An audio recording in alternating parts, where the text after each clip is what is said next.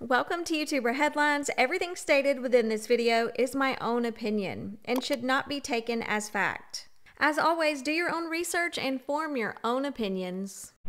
Today, we'll be covering the Eades family. Now, I have not followed them closely over the years, so I'm not that familiar with their content. So I'm checking out their channel, looking at their thumbnails.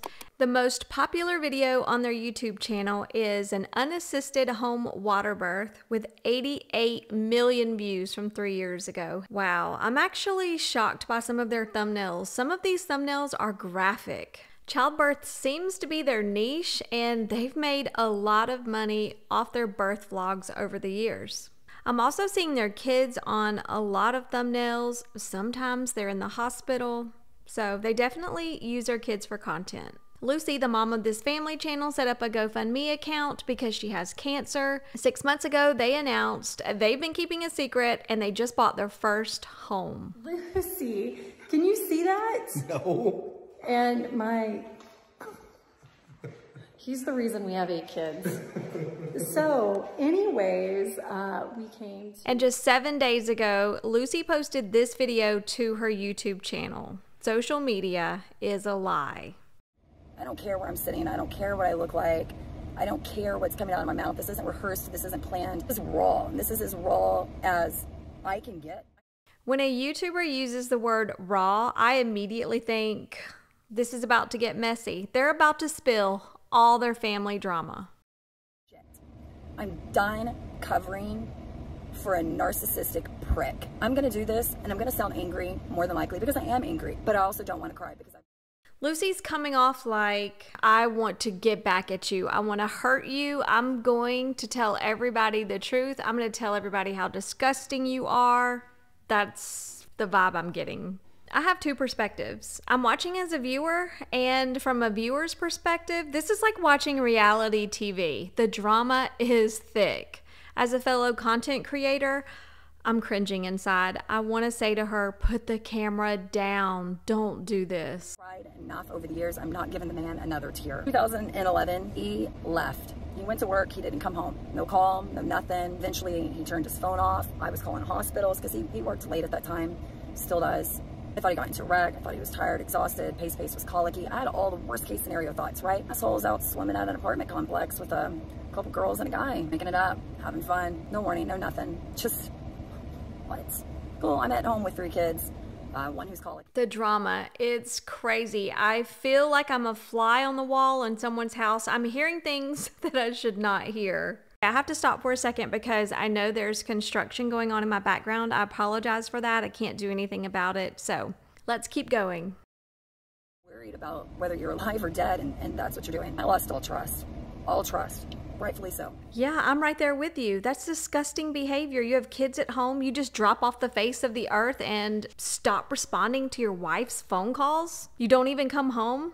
That's so immature and just childish to behave that way. In this video, I am fast forwarding a little bit of this because she talks about infertility, how she got pregnant, recovery after giving birth, and things like that. So I want to focus on the main points of her video. So that's what I'm doing.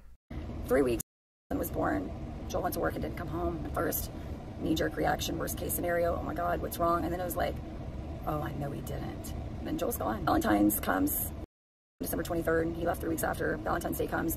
He cooked me my favorite meal at home. We all, as a family, went out to go watch a movie at the mall, had fun. Next morning, uh, February the 15th, Joel went to work, didn't come home. He's gone two weeks this time. Does the same thing again, changes all the passwords, tells me that it's in the past.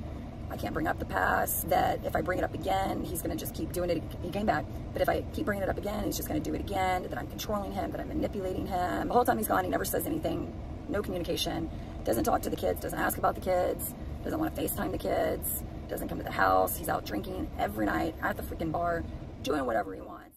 So you're watching this family channel on YouTube and they don't show any of this. She said all of this was a secret and she kept getting pregnant. I think they had baby after baby after baby all for content because birth vlogs are the bread and butter of their channel. Each time he's gone, he stays longer and longer and longer. Whole first year of life, Joel's gone. I do my best that when he is in the picture, I put on a happy face because I can't say anything because he's gonna leave. Breastfeeding, I'm still recovering. Horrible recovery from that pregnancy. Went to Disney World, brought all the kids. That's why Joel isn't there. I lied, said he stayed home to work, lied for him. He's very controlling and very manipulative. Fast forward 2000. So she's been lying on YouTube, covering for his disgusting behavior, all to keep up this image that they portray online. So she just admitted to lying to her viewers about why he didn't come to Disney World. She said he was working, he wasn't working. She was lying. Do you know how many content creators get on YouTube every day and lie to viewers? Yep, a lot of them do it. They just lie to you guys. You only see what they want you to see. Fast forward 2016, left again 2019, a few months after born, Octoberish about this time, left again, but he came back really quick in comparison to the times before. And then fast forward to 2022, now. Same thing, you're not gonna control me, you're not gonna manipulate me. As time has progressed, he's done less and less and less and less and less and less and less. All y'all who wanted to complain and say that my husband did everything for me and I was a lazy piece of shit, no bitches, that's not the case. What it was, was me doing- She really just said, no bitches, that's not the case. So on YouTube, she's been making it seem like her husband does everything, when in reality, she said he's been doing nothing. So many content creators do this because they want to look a certain way on YouTube. So every time they clean, they make sure they film it. Every time they're romantic, they make sure they film it because they want all the viewers to think they are this way when they're really not. The title of her video is the truth. Social media is a lie. Me dealing with my own shit. So when I would ask him to vacuum, I would intentionally record. When I asked him to do the dishes, I would intentionally record, throw it in the video. I knew the truth. I knew I did all that stuff, and he was occasionally doing it, but I didn't want y'all to think that he was the piece of shit he actually is. So I painted a different picture, and I need people out there to know. Some content creators only vlog when they're doing certain things because they're trying to put off this image that's really not true. They're really not the person they portray online. Sure. And I need people out there to know what you see online is not real. It's not. I don't care how happy they look. They've got skeletons. They do. Yeah, they do. They're hiding them. They're hiding them well because they have to portray the image of this perfect little family so that you watch their content, so you look up to them, so you are inspired by them. But all of this is just content, it's not real life. And the issue is they portray it like it's their real life. That's the issue. She was faking her content. They were filming things just to make viewers think certain things about their life. That's the issue with influencers and content creators. When you're watching a movie, you know that's not the real life. You know you're watching a movie with actors in it. When you watch a content creator, Viewers think they're getting the real deal. Viewers think they're getting a peek into the real life of this content creator, but you're not. In most cases, you're not. It's fake. It's curated to make you do whatever they want you to do. Watch the video to the end, maybe click a link, buy a product they're recommending, write a review. I mean, everybody has different intentions on YouTube, so it's different for every content creator. Hiding mine. I'm done. I'm done getting caught in lies and making me look like a pathological liar when, in essence, I am. But not like how. Yeah, if you're lying all the time on social media, I don't see how you can keep up with the lies because after you have hundreds of videos on YouTube, I don't know how you remember what you said two years ago versus what you're saying now. It sounds like her life has become this jumbled mess. She's getting caught in lies and she's tired of looking like a liar. She's been a liar for a long time now. She's been lying. Her content is a lie. She's exposing what really goes on behind the scenes. Now, I don't think every content creator has a cheating spouse, but I think a lot of content creators fake it for the camera. It's produced content, it's edited, it's filmed, it's scripted sometimes. You probably thought. Now, throughout all of this, obviously I played my own role. Without a doubt, everybody does. So I'm not sitting here just, everybody's guilty of their own shit. It's not the same shit. It's, it's not. I can absolutely take ownership for my shit. And I went to therapy, fixed my, a lot of my stuff was just childhood trauma related crap. And I didn't even know it. You know, I didn't know that a lot of my communication skills that were causing issues in my marriage was a portion of that. I had no idea. Worked on it 2016, spent a lot of time in therapy and found out a lot of stuff about myself that was not good that I didn't know. And it shook me to the core. I was like, wow, you know, maybe my communication skills aren't as great as I thought they were. But that's okay. You learn, you grow, and that's fine. You know, nobody's perfect. You just got to be willing to accept that crap and do something about it. And that's the difference between him and I. He does this. Oh, I'm so sorry. I shouldn't have done that, but I'm not going to do anything to fix it. Oh, I don't know why I get so angry. I know in the moment I'm angry and I know I shouldn't do it, but I can't stop myself.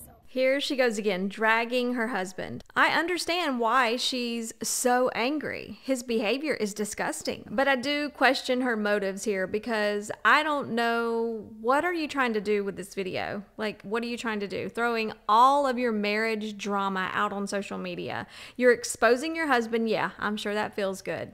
I'm sure she feels really good right now just dragging his ass. But you have to understand your kids will see this one day. They'll hear all of these things you're saying about their dad. They'll have to read all of the comments from strangers online about you, about them, and about their dad. I don't know. I just don't see the point in dragging your marriage through the mud on YouTube. What are you doing it for? Are you doing it for clicks and views? Are you doing it to get back at him? Are you doing it because you're tired of lying on social media? I mean, that's coming across too. I feel like she's tired of just playing house on social media and acting like everything's fine when it's not. I get that. And it's not what you say, it's how you say it. About it. I'm done. You know, the kids have been hidden from it long enough, but I do know that every time I've allowed him to come back home, I'm contributing to the problem. The economy does not make it easy to stand up and walk away, especially not with eight kids. I know that I shouldn't have kept having kids with him. You can talk all the shit you want. Go for it. Yeah, for sure. And as a viewer, just looking at their channel, it seems like they kept having kids for content, for sure, because that is the focus of their channel. In my opinion, they've made over a million dollars just on YouTube. That's right, just on YouTube. This doesn't count any money they've made through sponsorships, over on Instagram, anywhere else. That's what I think. That's a lot of freaking money. Would you keep having kids for content if you thought you could continue to make that kind of money? I mean, you have to be stupid to think that that would last forever because it doesn't. Nothing lasts forever. Go for it, because you're probably right. I am guilty of my own crap, and I can accept that.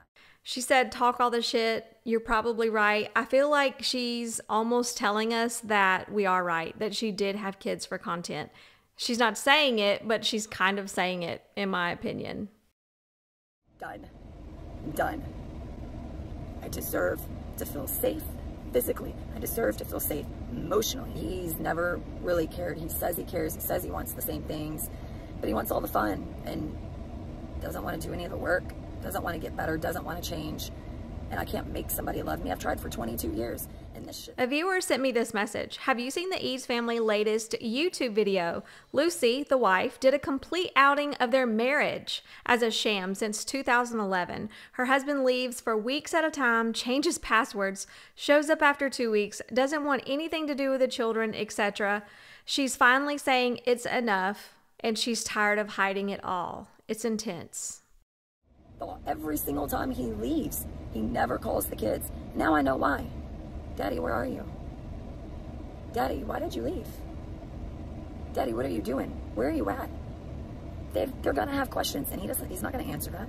He's not gonna. This is definitely intense. It's messy and hate kids. They have eight kids together. I'm glad she's at the point where she's no longer tolerating his gross behavior. She's tired of lying. She's outing herself. She's outing her husband. Seems like she wants a fresh start. But at this point, can we believe anything that she's saying? She just admitted she's a pathological liar. She lies. She's been lying on YouTube for years now. You've outed yourself as a liar. Can we really believe you? This proves family vloggers will do and say anything for content just to get the views. If they've been lying about their marriage, trying to pretend it's all good, there was no issues, what else have they been lying about?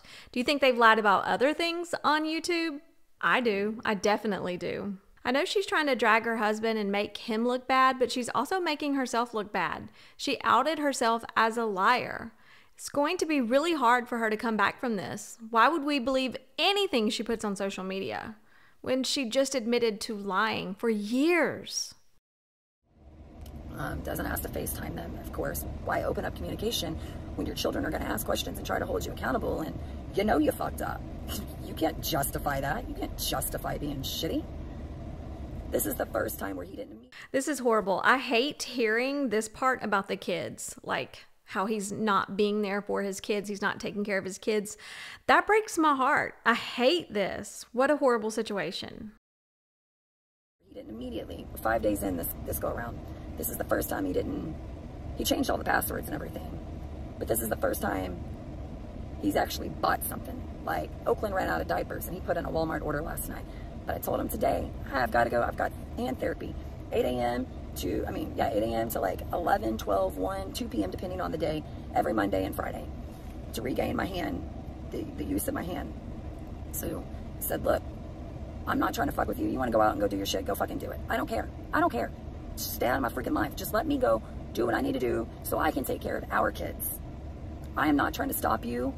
Lord knows, in the past, I'd worry about him taking the kids and keeping them from me. That was stupid. He doesn't want the kids. He doesn't want the responsibility. Because if, if he had the kids, he couldn't go to the bar every night. He couldn't go to Ludacris concerts. He doesn't want the kids. He doesn't want the responsibility. Saying those words publicly about your partner, you can never take those words back. Like that's the lowest thing I think you can say about a parent is he doesn't want his kids. I'm not saying she's lying here. I'm not saying she's telling the truth. Hell, I don't know. But she is publicly dragging this man for what? It's almost like she wants the public, the viewers, YouTube to hold him accountable. Kind of what it seems like to me. I just think she's making the situation worse by getting on YouTube and dragging him like this. I mean, your whole life, your drama, all of your feelings about your husband does not need to be content for YouTube. This is so messy. He couldn't go to Ludacris concerts. He couldn't go to movies with girls and guys. He couldn't go bowling and double dating and whatever it is he's doing. I don't think he's an alcoholic. I don't know if he's cheating, and I don't care. I don't know if, you know, I don't think he's an addict. I don't know. I do know that every time he pulls the shit, he's always smoking, and I find that repulsive to each their own. It's just not something I want in my life, and it's not something I'm going to marry, even though I sound like a smoker right now, but I'm She's using her platform right now to vent, to vent about her messy situation, her messy marriage, all the drama in her life. And girl, let me give you some advice. YouTube is not the place to do that. It's just not. Go to a therapist, talk to a friend or something, but keep some of this stuff off social media. I bet she will regret this video in a few years from now. I'm sure she will. I understand that she is taking some accountability for lying on YouTube for years, and I get that. And I think she needed to say that, and that needed to be done, but she's going a little deep here. She is just airing out all of their dirty laundry. She's just letting it all out. My children screwed over me all these years, and I'm fed up with it. I'm so done. And I go back and I watch the living room footage, and, and the, the time frame that he's there, he's asleep the whole fucking time, throwing off the boys' schedule, making it more difficult on me. He doesn't try to do the dishes, the laundry. By the way, it's a half a load of dishwasher. It's a half a load in the dryer. There's like nothing to do because I do it all. You see this piece of shit of a man in Dallas where he works out at the bars. Let him know how big of a piece of shit he is. Did she really just do that? She's telling viewers if you see this POS man out in public in Dallas, tell him what a POS he is. I mean, she just took it to a whole nother level. Like you're weaponizing your viewers. You are literally telling viewers to attack him, essentially. This is not good.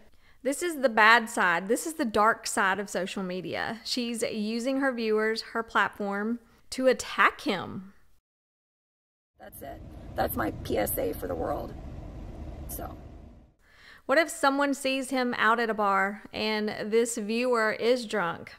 And gets real pissed off. I mean, you know, I don't know. Lots of things out there could happen, but I don't think you should tell viewers to approach him out in public at a bar, of all places, and tell him what a POS he is. Like, are you trying to start a fight here? I honestly feel like she's trying to hold him accountable on YouTube because it doesn't seem like she can hold him accountable in their real life. And it seems like he takes no accountability in their real life. The main point I got from her video is that social media is fake. She's been faking it on YouTube for years. She's been lying. She's been portraying her husband as a certain way, and he's not that way. She intentionally filmed when he was helping around the house so viewers would actually think he helped around the house, when in real life he didn't. It's fake. It's fake. There's no other way I can say this. Content creators do the things they do for content, it's all content. And she admitted to lying. I think there are tons of content creators out there who lie. And that's the issue when content creators intentionally deceive viewers, lie to viewers, and put up this front, this fake front, that something is real when it's not. That's an issue. That's a huge issue on social media. He was supposed to be here this morning because I have I've got cancer appointments, I've got hand therapy. Not here, not answering his phone. He hasn't talked to his kids in two freaking weeks. Hasn't seen them, hasn't asked about them. You don't want to take care of them. I have no control over that, but I need to take care of myself. Let me take care of myself so I can take care of my kids. I can't watch anymore. I mean, it's literally heartbreaking. She has eight kids. She needs help from him.